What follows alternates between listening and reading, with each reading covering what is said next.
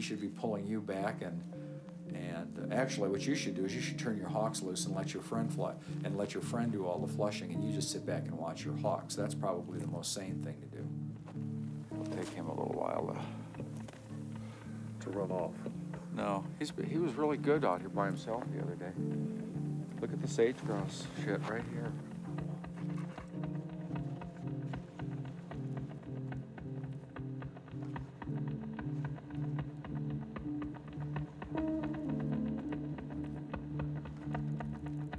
There's a choreography to falconry. First of all, spatially.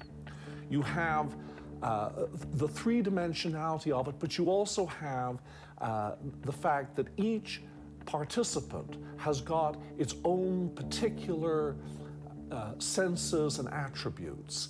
Uh, the, the, the, the, grouse and the falcon fly, but to, in two totally different ways. The dog has smell. The human being is trying to bring this whole uh, drama together so that it has the right outcome. Now, the right outcome doesn't necessarily mean the death of the grouse, but what it does, uh, it, everything has to perform to its ultimate in order for the thing to achieve the kind of aesthetic perfection that one is searching for.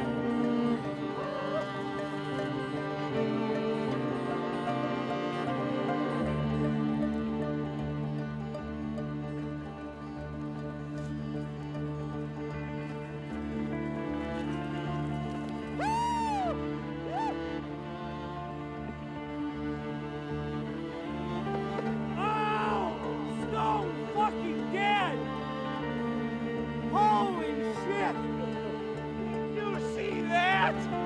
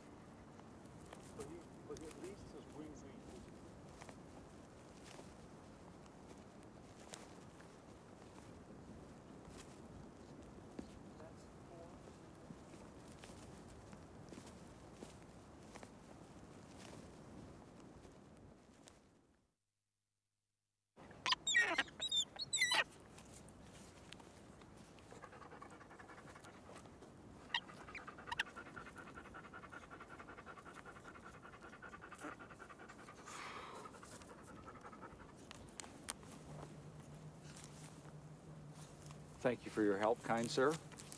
That's all right.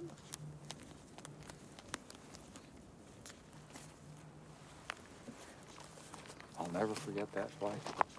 I just wish Tom was in on it. Well, they'll they'll be fine. They'll be fine.